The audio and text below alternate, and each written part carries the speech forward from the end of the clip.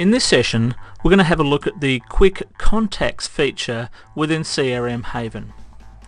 Now the Quick Contacts is this second column here down in the, uh, the list of clients.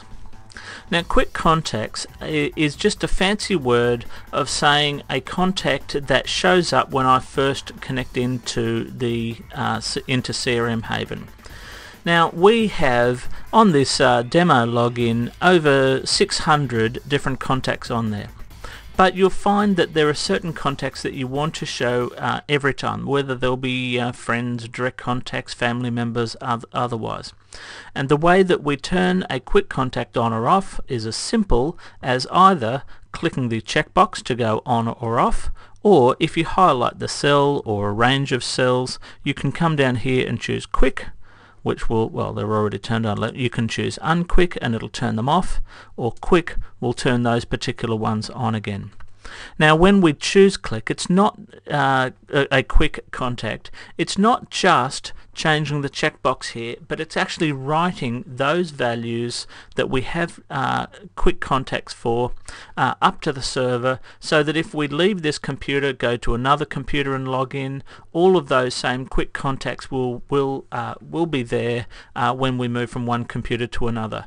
Or if we log out, come back in again, then those quick contacts are there. Now if we quickly want to wipe out all of the current quick contacts we can come down here and go clear quick clear all quick contacts. Now the reason for that, uh, the reason why that's important is that not all of the quick contacts might actually be visible at the time. We might have done a search and there are other ones which aren't currently visible visible amongst the 78 we're showing here. They might be amongst the other 600 or so that we have on the system. If you choose clear all, it will uh, clear the entries of all of the quick contacts ready for us to start again. Now what we need to do is choose, you can hold down the uh, command key or control key, choose the particular ones you want, choose quick, and those ones are now set uh, as quick contacts. If I quickly log out and then log back in again, you'll see that instead of the 78 that we had previously showing up, now if I come in to CRM Haven, after this login, you'll see that the that only that number four, the four of the items are as quick contacts. Those are the ones which were, which will appear when we first connect in. Just makes it nice and fast for you and uh, uh, to come in and see the particular ones you want.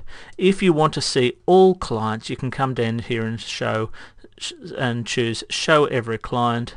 That way all of them will appear if we choose you know, uh, a group of them, know, so we can choose roughly you know, the number that we had set up before.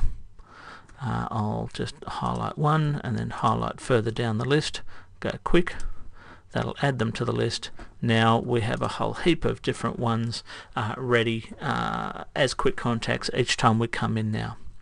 Okay, that's how you use quick contacts. Hopefully that's a feature you'll find useful, particularly for uh, grabbing and marking clients which you want to use all the time. Thank you. Goodbye.